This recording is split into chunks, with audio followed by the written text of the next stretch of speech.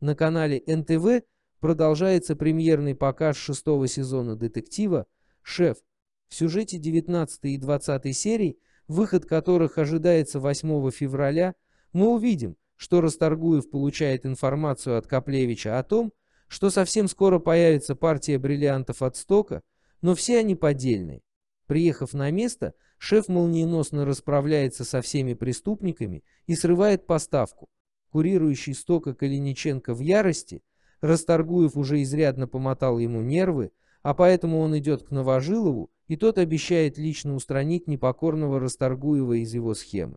На встрече с министром Расторгуев становится в курсе операции, задуманной Новожиловым и неожиданной роли в этом деле начальника главного управления. Теперь полицейские подходят к финальной части операции. В это время к Ивану возвращается Тихомиров, и теперь ему нужно достать оружие для операции Ивана. Но Тихомиров до сих пор не знает, на какое дело он должен будет пойти с бандой националистов. И только тогда, когда в день операции Тихомиров садится в машину, и пони приезжают с бандой Ивана к дому Новожилову, Тихомиров понимает, что это будет похищение. Премьера новых серий состоится 8 февраля на канале НТВ.